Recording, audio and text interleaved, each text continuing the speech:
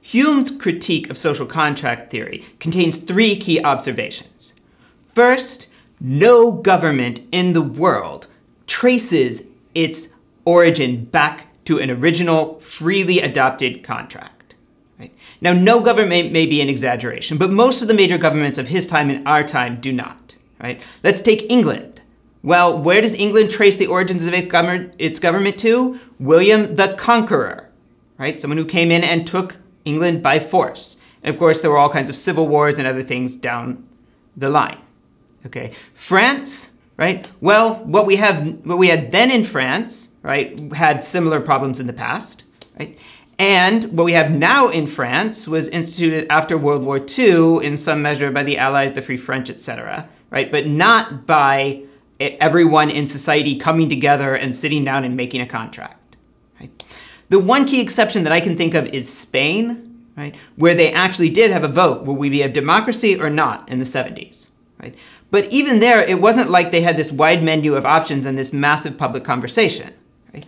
The dictator died. When he died, he turned over power to the king. And as soon as the king came into power, he immediately held an election, democracy, yes or no. Right? So no, social contract theory does not represent the origins of any government, or at least very few governments in existence. The second observation is that hardly anybody consents to a social contract. Right? When you turned 18, nobody handed you a copy of the Constitution and asked you to sign it. Right? There may be some countries in the world that do that, but it's very rare. Right? You're born into the country, the government is in existence, and you pretty much have to live with it when you grow up. Right? So people don't routinely consent to some kind of social contract. And third, and perhaps most importantly, Everybody knows this and nobody cares. Right? The fact that the so if someone comes along and points out to you, look, there's reason to think that the Constitution was adopted through lots of political chicanery. Right? It's not clear that it was even legal to hold the Constitutional Convention, right? And then there's some really questionable things about several of the ratification process in several of the states, etc. Right? You might say, oh, what an interesting historical fact, but you're probably not going to say, well, now I want to scrap the Constitution. Right? And of course, nobody asked you to sign the Constitution when you turned 18. Right?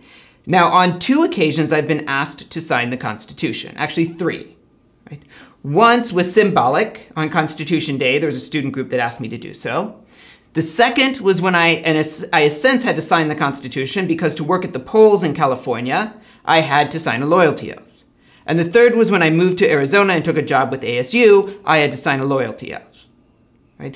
But for most people, right, the Constitution's just there and they accept it. Right? And even though they never consented to it, right? And it's a kind of tricky question whether there was really a free consent to it in the beginning at all by the people. Nobody cares, right? We still accept the authority of the Constitution, just like the British accept the authority of their parliament and king, okay, France of its National Assembly, etc. Right? So the three major observations are first, few countries, if any, can trace their origin back to a free contract. Second, even if they could, right, people don't routinely assent to the contract on coming of age. Right? It's just expected that they'll agree to it. And third, everybody knows this and nobody cares. Right? And governments don't suffer, suffer any loss in their authority in the eyes of the people due to the fact that the people know this right, and don't care.